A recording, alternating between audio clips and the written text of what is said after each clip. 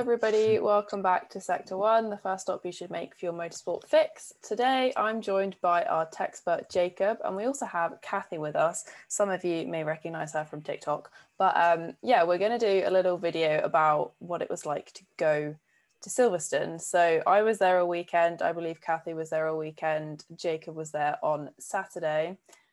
But yeah, we're just going to talk about where we were sat, what we saw, and then just have a discussion about some of the some of the sessions. So Jacob, do you want to kick us off and tell us where you yeah. went, what you did, what was going so, on? So general admission ticket, gotta love that. Um, so went all over the track.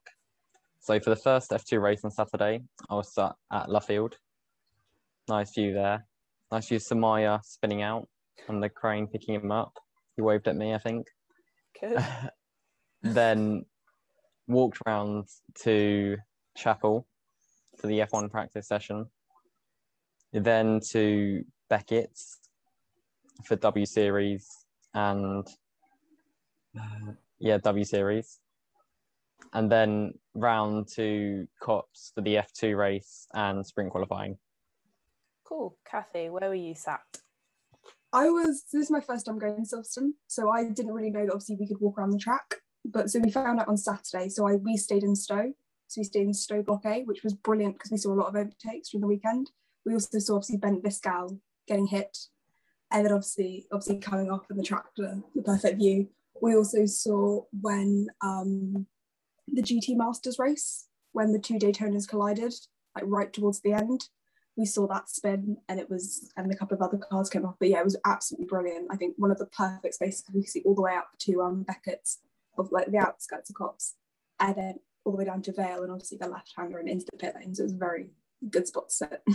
Yeah, so I was there um, all weekend. On Friday, we were at Luffield. Uh, we watched, I think, pretty much everything. We were at Luffield, um, which was a great spot. You got because it's quite a slow corner, so you got a good view of the cars, which was you know good for the first day. And I've not been since 2011, so I've not really seen this sort of era of cars um, up close. Um, and then what else did we do that day? I can't remember. Well, we basically stayed at Luffield uh, for all the sessions. We had a bit of a wander um, elsewhere, but in terms of actually watching, we watched from there. On the Saturday, we were at Copse um, for the F2 um, and the practice session. We walked up um, to kind of Beckett's I saw Jacob uh, for the W series, and then just back to Copse. And then on Sunday we were sat at Vale, which was a really great spot. We saw everybody coming in the pits. Um, we saw Kimi and Checo have a little bit of a collision. Um, some close overtakes in F2, which was good as well. So yeah, I'd I'd recommend Vale was good. It was quite busy at Vale. There's a lot of people crammed into one area, but I guess you're going to get that. Kathy, I was going to ask you about Fridays. Um, obviously, it's usually not that much of a busy day, but from what I've seen online, obviously, I've not been um, in recent years, and neither of you, but from what people are saying and online and stuff, Friday was so much busier because of quali on the Friday. I mean, we got there quite early, so we ended up because I was staying at the Waterside Village University. We ended up coming quite early, and it was definitely busier.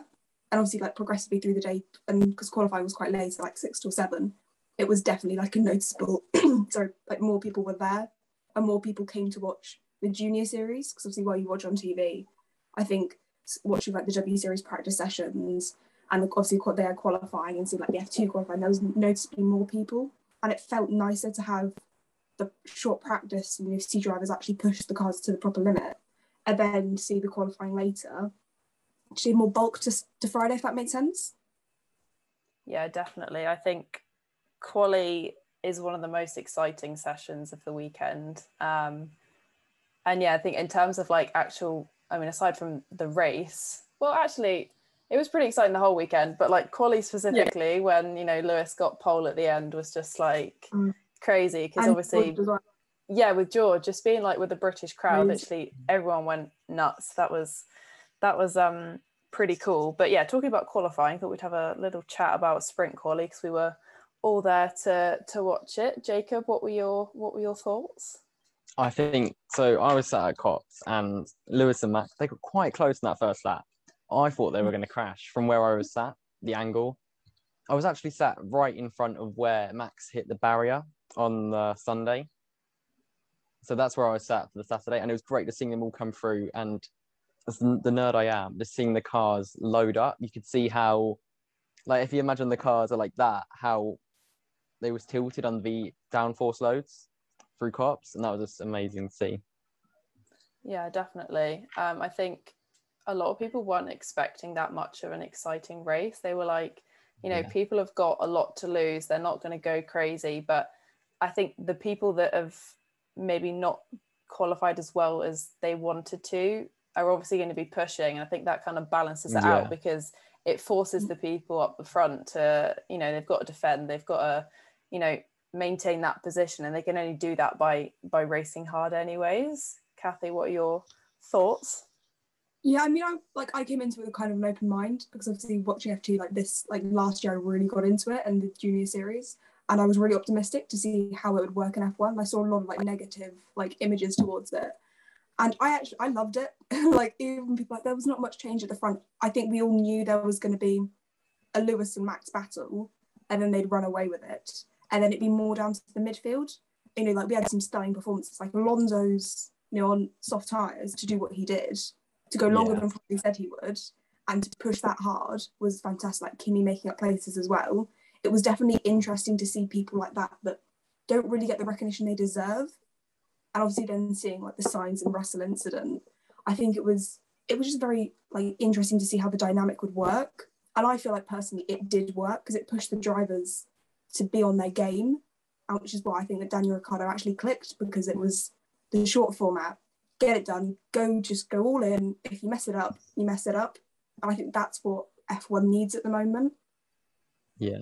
Yeah it's a bit of like accountability for for yourself as well because obviously if you have an incredible i guess friday now if they're going to be continuing that i don't know but if you qualify really well you've got so much to lose but equally you've got so much to gain and that dynamic between that the two sort of types of drivers i guess is what is what makes it interesting but i was having a think and i know a lot of drivers weren't happy with the fact that like all of their hard work on the Friday could be taken away in an instant. Someone like Sainz, who, you know, it wasn't his fault that he was then dropped right to the back and lost Yeah. so many places.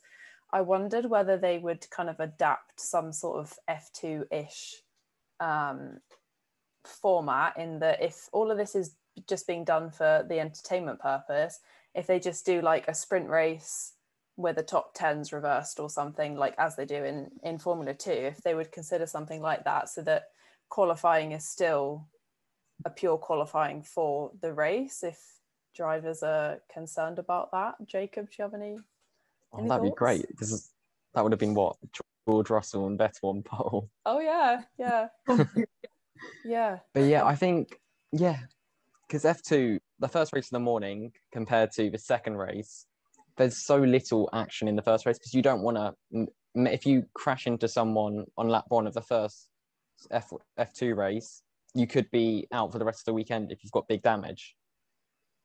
But and so I guess some drivers could have adapted. Some drivers are thinking, okay, we'll just hold stock. But then at the same time, if if you attack really hard, say Perez when he spun off at Chapel, it then gives him the whole Grand Prix to try and claw it back. Because if he did that lap one of the lap in the main race, he's screwed for the rest of the race. But he gave him a try. He gives you also almost a redemption. Yeah, and I think Sainz was saying that like although he was literally last or he was pushed back to, to last in the sprint, he really enjoyed coming back through the field. And if Yeah, you know, Yeah. it shows that A, you can overtake if you know you've got the moves and you've got the got the skill, you can overtake. We can't really use that argument anymore, at least for some cars. Um, but yeah, if it makes it more exciting for the drivers, it's then more exciting for the fans in in theory. So is it there's another round they're doing? I think there's two more. Monza and I- Interlagos. Right. Monza's been confirmed. Interlagos is set to be the next one. I think it'll be The good. only- Yeah. The only issue I've got. oh, Oh, no, you go serious, serious. The only issue I've got with sprint qualifying is it only it doesn't necessarily give as much incentive for those lower down the order, because it's great that P one to three get points, but if you're say P twelve, there's no real incentive for you to try and risk it on the last lap to get P eleven, whereas say on the last lap, say risking it to get P ten gets you say a point. There's more incentive to push for that rather than not push, if that makes sense. It's almost only rewards the drivers at the top, and that's pretty much always Hamilton, Bottas, and Verstappen. That is So it just true. doesn't encourage mm. action lower down the. So like for say Raikkonen, say you make up three places, you've got the pace to maybe get a fourth, but there's no need to risk you damaging the car for Sunday's race. Yeah, what's the point if you're already in somewhat of a Mhm. decent position? You might as well just kind of hang around there and set yourself up for the Sunday, as opposed Yeah. to, you know, as you say, going for for non-existent points.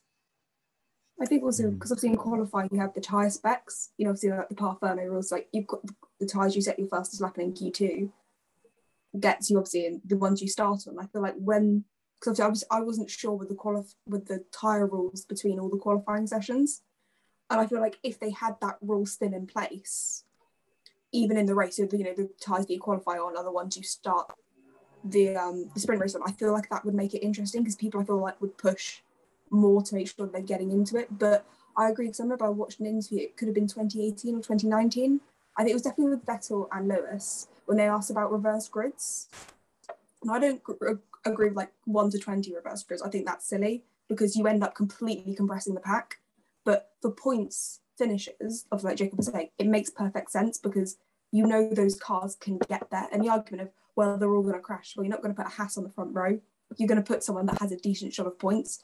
That could be one week, it could be a Ferrari. One week, it could be an Alpha Tauri. It could be a Red Bull if they fall down there. And it would just be interesting to see, even if they did it just for one race, no championship points up for grabs, just to see, or maybe a few, to see how it would go. It would make it, I feel like, a lot more interesting if you did it just did it for points finishes, because you would see what they did in F2, which is do you hold on for like reverse grid pole? Do you go for the extra points? I feel like that would make it a lot more interesting. You see more tactics come into play as opposed to like even now with the normal formats, which is obviously people in Q2, obviously they try to get to Q3, but it's in the debate of do we go, do we stay with fresher tyres? It's just, a, I think it would be an interesting experiment to see, but I don't think it will ever happen in F1. I think mainly because F2 it's a spec series. When the when the teams get the cars from whoever makes it, it's they're identical right down Yeah. to the individual suspension systems. And in F2, it does really interest me how there is such a big gap between how you've always got the likes of Prema and UNI-Virtuosi at the front, and you've always got HWA at the back. It does Mm. Like how you've got the divide, but at the end of the day, the cars are. It's not like they can develop any parts on the car. So I guess that makes sprint grids, I mean, reverse grids a bit fairer than if it was an F1. Yeah. Yeah, I think the only thing I don't think we'd ever see a serious reverse grid, full reverse grid in F1 because I think there's safety things that come into it just because of the Mm. sheer pace difference between, I mean, let alone like Red Bull and Haas. Like, I think at the end of the race, the Haas's are like a minute behind the Williams. And like, Yeah, when you think yeah. about that in in a big grid, you can see that why drivers have um, an issue Yeah. with full reverse grid. So I understand that, but but yeah, just having like the top 10 reverse as in Formula 2, I think from an entertainment perspective would be interesting. How they sort out the points and stuff, I think would be a something to figure out. But you know, it's the first time that they've run this. I think it was successful. It's definitely made it's been a huge talking point. It's, you know, mixed up the order a little bit. So I could maybe mm. see it making a return. I think good. I think F1 needs to obviously like have a big change because obviously I know people. A lot of people said you know, obviously the argument about DRS and you know just having like a DRS train. But I think at the end of the day, they needed to try something bold. And I think people making a judgment just on Silverstone. Silverstone is a very unique circuit. It's old school. Like if you look at it, it's yes, it's a wide Mm. track, but you know, 50s, even before the 50s, people were racing there. It's not. That's why I think when people tried at Monza and Interlagos, we'll get a broader picture of well, actually, is it a good idea or is it just Silverstone was kind of a bit of a fluke? So I think people who say you know it was bad, they need to watch the rest of the season with it. because I liked last year having one practice session. I think it was Imola because of Yeah. the way things. Mm. And I loved. and uh, uh, Germany to an extent. Yeah. I liked having it because it meant that you don't go into it with as much data, and it's not a data Yeah. session. It's a drivers. Obviously, a lot of them haven't driven Imola, obviously, except the AlphaTauri drivers. Obviously, like test their cars there.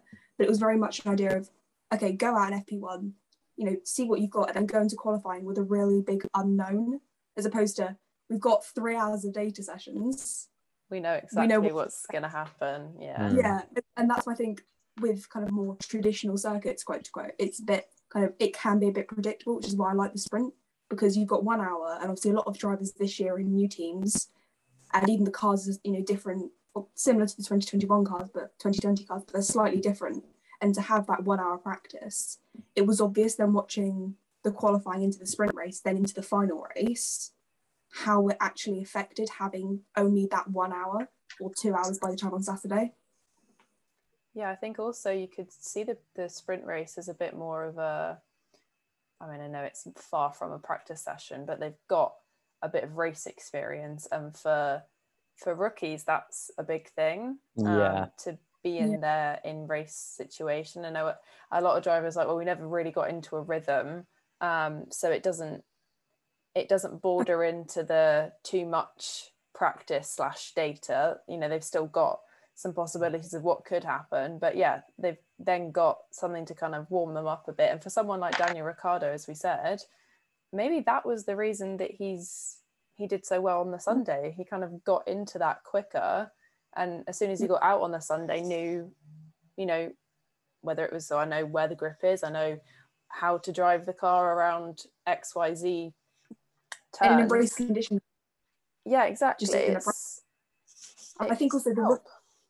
yeah, I feel like with the young drivers as well. So if you look at someone like obviously making Nikita are kind of a bit of an exception because they're in Hasses and it's 2020 car. But if you take them away and look at someone like Russell, Latifi, and you look at the people who have gone through F2 recently, who have done the format, Charles Leclerc, they benefited massively because they knew what to expect. If you look at someone Yeah. who's obviously slightly older, so if you look at the Raikkonens, the Alonsos, even you know, back to know Daniel Ricciardo, who haven't experienced that proper qualifying format, it, I think it was a shock to a lot of people because obviously the, a lot of the, you know, say Lando, for example, he knew what was going to happen. He knew the kind of the unpredictability of it, and you needed to just get away and go.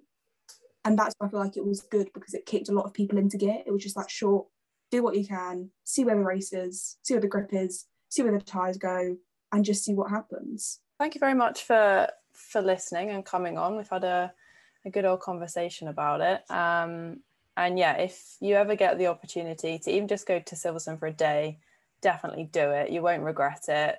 Um, The museum at the side is brilliant. yeah, yeah. I saw something on TikTok and it was like, if you look back in 50 years and regret not spending X, Y, Z on on a Grand Prix, you're not going to regret it. So yeah, 10 out of 10 experience. Would have liked if it was like 10 degrees cooler maybe, but Oh yeah. but yeah, we made it through and I'm actually not time. sunburned. So No, we got a free tanning session, which was nice. exactly. I'm part of the elite club that didn't actually sunburn. So I, I Jealous didn't of like, you. Jealous. Very jealous here. Right, thank you all for listening. Uh, make sure to check out some of our Silverstone content. Um, there's a few of us that were able to go uh, over on at Sector One podcast. But yeah, hope you guys enjoyed this little mini video slash podcast and enjoyed the race.